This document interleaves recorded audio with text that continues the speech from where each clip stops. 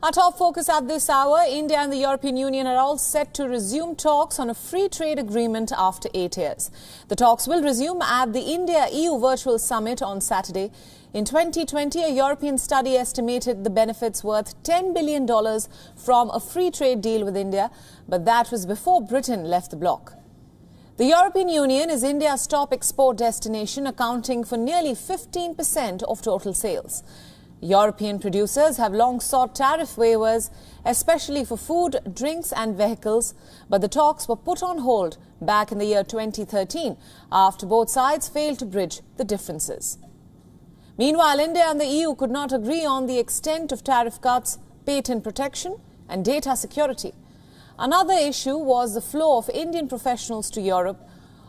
And now, almost eight years later, the talks will resume this Saturday at the virtual summit. Indian Prime Minister Narendra Modi and EU President Ursula von der Leyen will be joined by Council President Charles Michel and German Chancellor Angela Merkel. EU sources attributed this development to the positive momentum in ties and they say that the talks will be comprehensive and will not focus on early wins. It is important to note that there is a strategic angle to this move as well. It comes immediately after the EU's decision to suspend the ratification of a massive investment deal with China. Saturday's talks will also focus on patent waiver for vaccines. EU sources have told WION that its leadership will not press India to export vaccines, but they added that countries with a surplus must start selling jabs. The two sides are also expected to issue a joint statement on creating a robust supply chain for COVID 19 vaccines. This comes at a time when the Indian manufacturers are struggling to source raw materials for their vaccines. Now, for more on this story, WION's principal diplomatic correspondent, Siddhant Sibal, is joining us live. Siddhant, thanks for joining us. Now, India and the European Union are all set to resume talks on a free trade agreement after nearly eight years. So the big question is why now and what more can we expect, especially as relations between the EU and China hit a low point?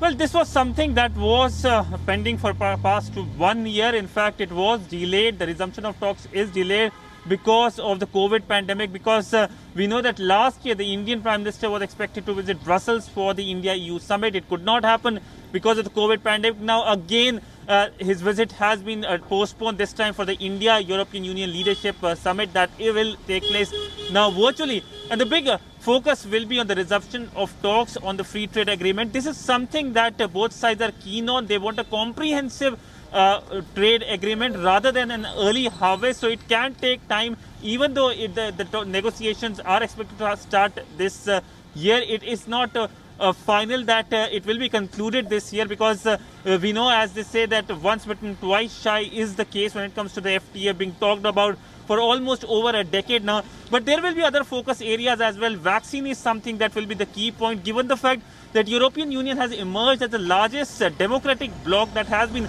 exporting COVID vaccines. And of course, it looks like that it could soften its hand on uh, the uh, the IPR waiver on the vaccine as well after Washington announced that it's going to uh, start text-based uh, uh, talks on right. that. So this is a positive development for India that's very keen to have more uh, vaccines. But also we know that India is the largest producer of vaccines, but it has halted that because of its own COVID crisis here in India. Right now, Siddhant, what else is on the agenda for the upcoming India-EU virtual summit on Saturday? And will the EU promise further assistance to India to help it fight the deadly second wave of infections? Well, two key focus areas. One, of course, on the connectivity partnership. This will be the second time that European Union is having a connectivity partnership after any other country. That's Japan. Uh, that European Union is focusing on India for connectivity partnership. Second, of course, is on Indo-Pacific. We know that recently Europe came out with its own guidance when it comes to Indo-Pacific. It is keen that its uh, role increases in the region. And New Delhi is a firm supporter of the Indo-Pacific vision.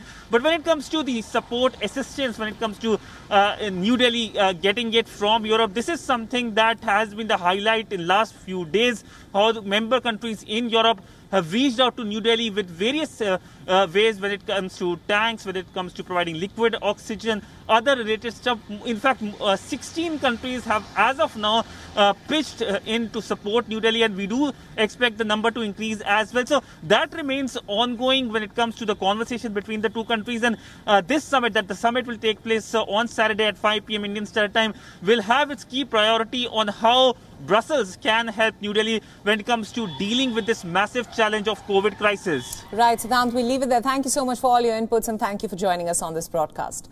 WION World is One is now available in your country. Download the app now and get all the news updates on the move.